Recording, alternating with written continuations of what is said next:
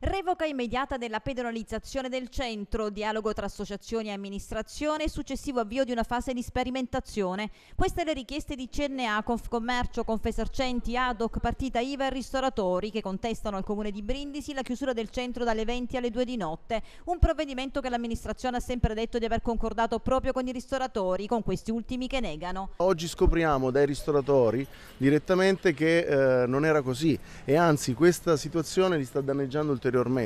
Ha reso la città di Brindisi inaccessibile alla provincia e ai turisti con un danno economico gravissimo. Siamo qui perché chiediamo a gran voce la revoca della, della chiusura della, dei centri commerciali, delle vie, eh, delle vie, pedonali del centro cittadino di Brindisi. Siamo qui perché chiediamo ancora una volta un dialogo con l'amministrazione comunale affinché ci sia un piano di rilancio del commercio. Abbiamo chiesto comunque che ci fosse maggiore indicazione, che ci fosse un utilizzo delle navette a titolo gratuito.